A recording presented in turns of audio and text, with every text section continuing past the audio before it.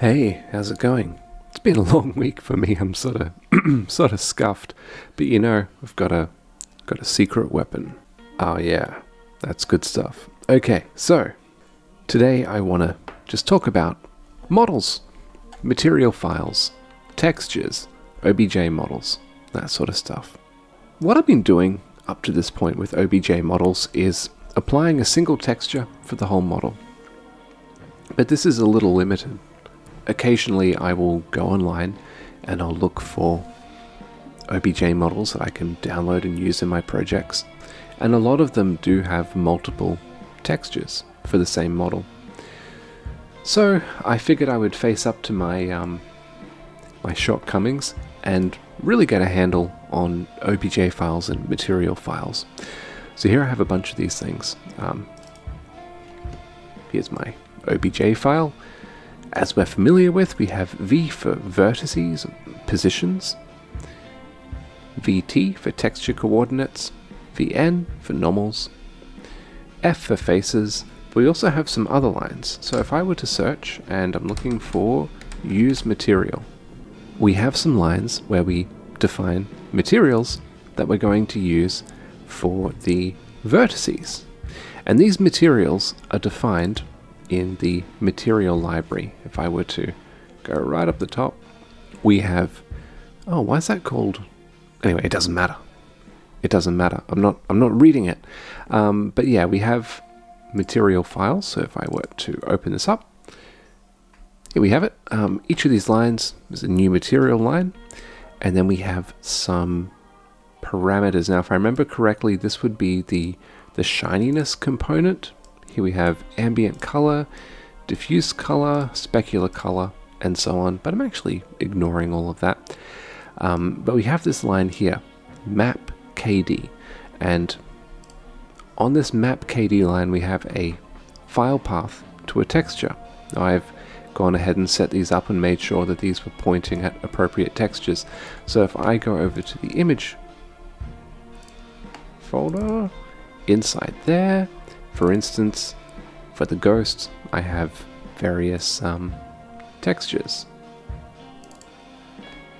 I have a whole bunch of these sort of set up. Okay, awesome. So then the question is, how do we use these? Well, for a model that we're loading, we have two files, the material file and the OBJ file. I will be providing the code, it'll be in the link down below, but um, I'll just step through this. So if we were to make a mesh, we would read these two files individually and it would be their job to populate our buffers and materials and things. Let's start with reading the material file. So when I read a material file, I sort of step through the file line by line I want to keep track of how many materials I'm loading because ultimately I'm going to load all of those materials into one texture array.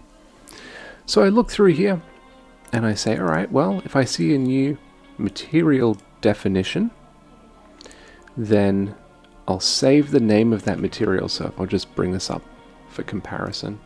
There we go.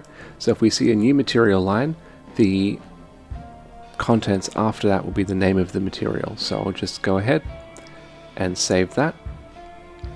And then at the point where I see map KD, this is the point at which I'll save all the material info. So I'm keeping track of the set of file names for all the materials and the set of indices as well because the first time I see a material, I'm going to load that in as image layer 0. The next time I see a material, load that in as image layer 1 and so on, but I just want to keep track of which file name is associated with which index. Right, so after we've looked through the file, saved all the file names for the materials, then we go ahead and actually look in and load those materials. And the way that works is we create a texture array all my materials are 1024 by 1024 with the texture array, they all need to be the same size. And we also know how many layers we're going to have there, so we can allocate all of that space. Then we look through those material indices that we saved, and we pretty much load the appropriate, yeah, load the appropriate image, save that back in at the appropriate layer of the texture array, and then we're done. So at that point, for the mesh that we're loading, all of the materials are loaded up and in place. Then the question is, how do we use that on the OBJ side? Well, when we go in and read an OBJ, we look for the use material line. And the way this use material line goes, I know that I'm repeating myself a little bit, but we have used material and then a whole bunch of faces which actually use that material. It's sort of like a I hate to say state machine because I've been on the state machine thing so much recently, but it is like a state machine. Like, well, procedural, I guess. It goes, you know, top to bottom. Anyway, so we set the um, current material, then we load a bunch of faces. Set the current material, load a bunch of faces. It's just like that. So I've got this variable called current material. Anytime I see that use material line, I set the current material, and then that gets used in loading the face.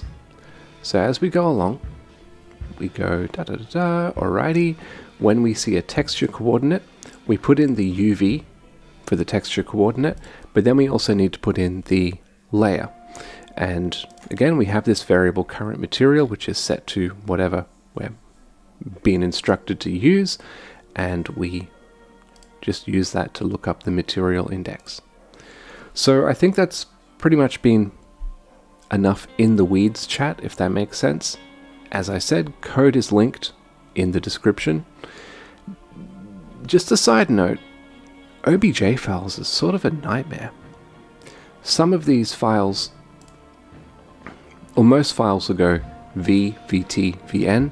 Some of them, especially some older ones, will go v, vn, vt, and that's just a nightmare to deal with.